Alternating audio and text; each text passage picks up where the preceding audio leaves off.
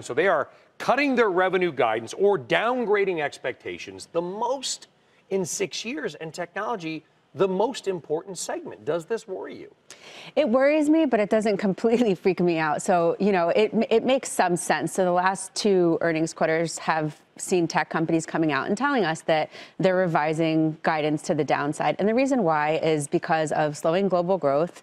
You have higher input costs, you have higher labor costs, margins are lower, and there's sort of this global backdrop. You know, the China thing is huge for tech. I, I think Apple over the last two quarters had talked about, you know, 15 to 19 percent um, earnings improvement within those regions, and that's completely you know cut off right now and slowed down because of China slowdown and, and also trade negotiations. So I think that you know tech is going to slow down. It's also a volatile sector and it's a high beta play. So when we're towards the end of an economic you know cycle and a potential slowdown, those names will get hit harder than others. I don't think it's dead though. You don't think it's dead? I mean, it's 26% roughly the market, according to Bespoke Investment Group, on some metrics. So as tech goes, in many ways, so goes the market. So it sounds like you're not freaked about tech. Uh, yeah, I'm not freaked. And the reason why is because things are a little bit different. You know, we saw the inverted yield curve the other day and we had these fears of a recession coming. But, you know, even even if that held up and, and that did forecast a recession coming more quickly than we Do would have expected. It does?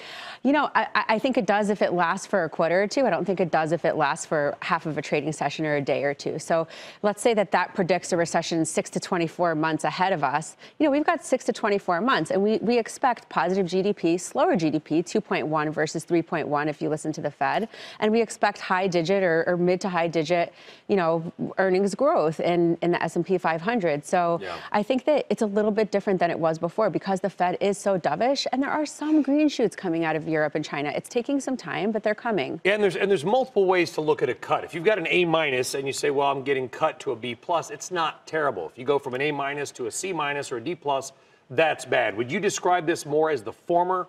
For what we're seeing in technology? Cuts, but not severe? Yeah, I would say, you know, first quarter, we're going to go from, you know, an awesome tax cut regime, which is now gone. So I think first quarter, it's an A to a C, but then second, third, and fourth quarter, it's an A to a B. So I, I still think that you can essentially have potential gains in equities over fixed income this year, you know, before we hit a recession. So I'm, I'm, I'm looking at tech. You know, at Direxion, you've got these ETFs, which some people have criticized because they enable people to gamble in big ways on sectors.